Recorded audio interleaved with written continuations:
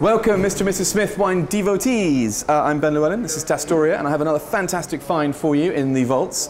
Now, this is a Chassagne Montrachet from Alex, Alex Gambal, who is by birth an American, but managed to become a Burgundian through hard work, passion, and stealth. Um, He's one of those producers who owns a little bit of vineyard, he buys a little bit of fruit in, but he has an absolutely fanatical eye for quality and he makes small batches of um, parcels of wine from throughout the region. And this particular Chassagne Montrachet is one of my favorites. Now, this comes from the 2005 vintage, very warm, very ripe vintage, and just developing that little bit of age now.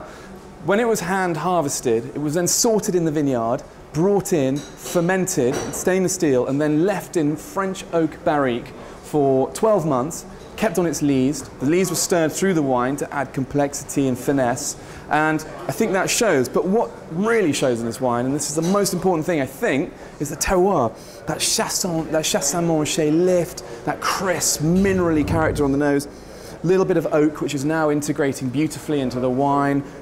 Bit of nut, hazelnut, butter, whatever you like. It's just really beautifully balanced, really elegantly poised wine.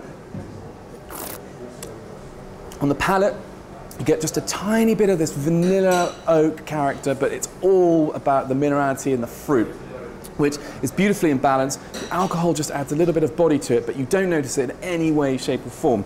And all the way through to the finish, this is an absolute beauty. Goes on and on and on and on and on, a little bit like I'm doing right now. So please, if you have some hard-earned Mrs. Smith, Mrs. Smith pounds, please try and get yourself a case of this. It's an absolute cracker.